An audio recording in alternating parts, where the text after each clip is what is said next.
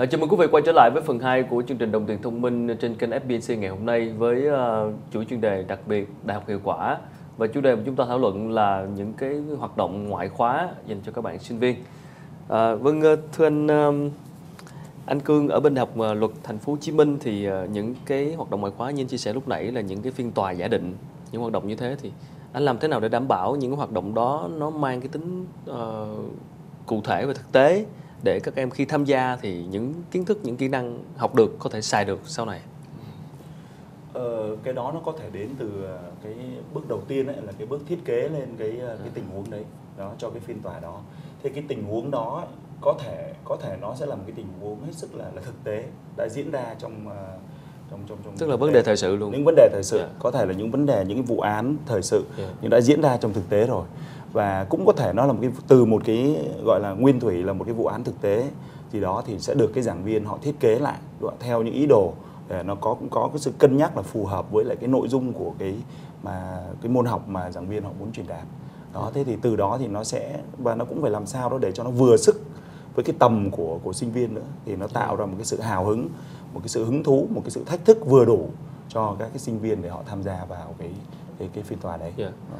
Và thông thường thì các hoạt động ngoại khóa ở các trường thì ờ, thường là đối tượng sinh viên của năm thứ mấy là phù hợp để bắt đầu tham gia. Ừ. Ờ, có thể là nó sẽ phù hợp mà đối với đối với trường luật ấy, thì trước đây thì chúng tôi có cái chương trình đào tạo thì nó có thiết kế là uh, đối với hai năm đầu thì thường là các cái môn đại cương trước khi vào các cái môn chuyên ngành luật. Nhưng hiện nay thì cái chủ trương của nhà trường là vẫn sẽ có lồng ghép một số các cái môn chuyên ngành vào những ngày cái năm đầu tiên của cái uh, cuộc sống sinh viên của của, của cái, cái, cái học sinh viên.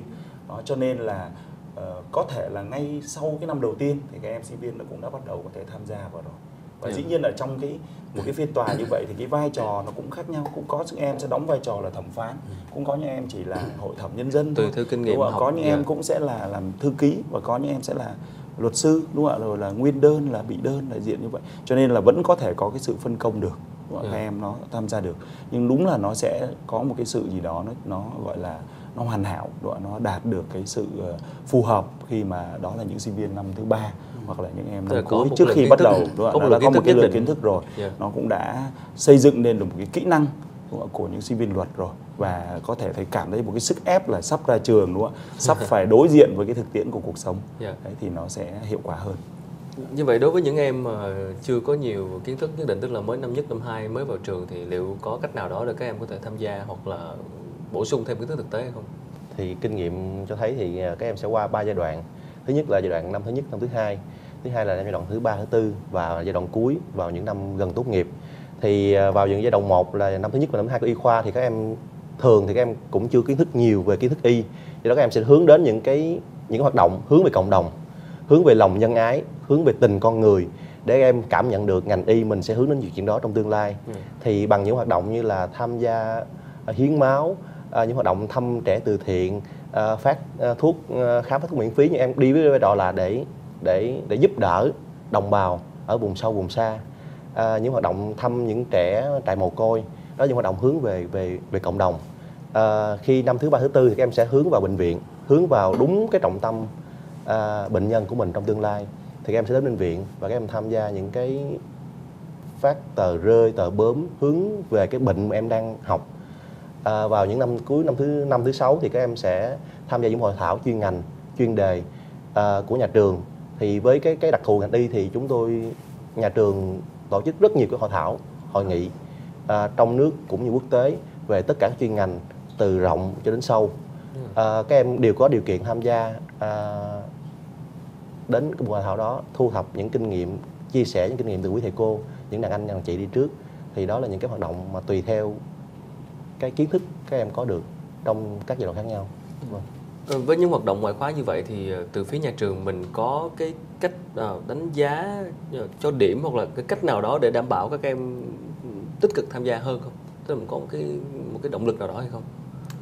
Ờ, ngoài cái mô hình là cái phiên tòa giả định đó đó yeah. Dạ. ở có bên tính điểm luật, vào trong quá trình học bên bên trường luật đấy thì uh, còn có um, tức là chúng tôi có thành lập một cái trung tâm gọi là cái trung tâm tư vấn pháp luật đấy thế thì các em sinh viên ngay cả cả những em từ năm thứ nhất đúng không ạ đến cho những em năm cuối thì khi tham gia vào cái trung tâm đó đúng không ạ thì các em sẽ lãnh những cái trách nhiệm những cái sứ mạng ví dụ đi tư vấn pháp luật uh, miễn phí cho cộng đồng đúng không ạ? Ví dụ như là trường cũng tổ chức rất là nhiều các cái đợt là các em sinh viên đó dưới sự hướng dẫn của giáo viên sẽ đến các cái uh, trại giam đúng không ạ? Để tư vấn cho các cái tù nhân để giúp cho cái việc mà tái hòa nhập cộng đồng của họ nó thuận lợi.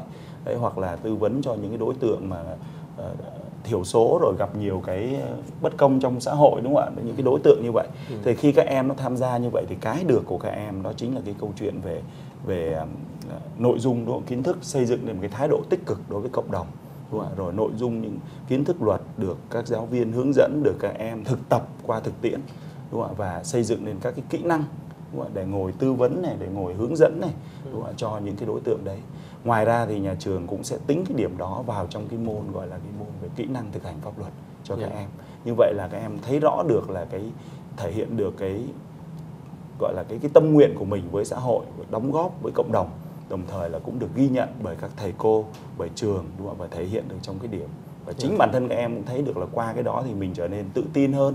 Ừ. mình nắm bắt các nội dung nó hiệu quả hơn Dạ vâng. vâng thưa quý vị vừa rồi là những chia sẻ của các vị khách mời liên quan đến chủ đề là các hoạt động ngoại khóa những các bạn sinh viên. Đây là chuỗi chuyên đề đặc biệt Đại học hiệu quả trên chương trình Đồng tiền thông minh trên kênh FBNC. Quý vị có thể theo dõi lại chương trình trên trang web đồng tiền thông minh fbnc.com hoặc là facebook.com xuyệt đồng tiền thông minh. Chúng tôi sẽ cùng quay trở lại sau ít phút giải lao. 对